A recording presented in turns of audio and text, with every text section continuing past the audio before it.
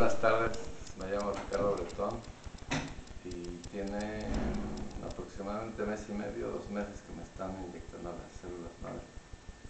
Y yo venía, o vengo, porque tenía mis articulaciones, me dolía bastante. Y ahorita desde la quinta ya esta es la sexta. Ya tengo una mejoría, pero enorme, ya no me duele las articulaciones. Y mi esposa también más o menos venía por lo mismo, pero ahora le pueden preguntar a ella.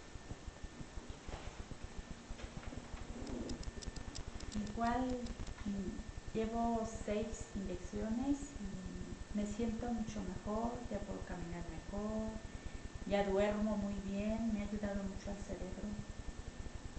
Mm, Tenía yo una debilidad y dolor de, huesos para levantarme, sentarme, caminar. No he hecho ni ejercicio, pero sí estoy mucho mejor, mucho, mucho, bastante.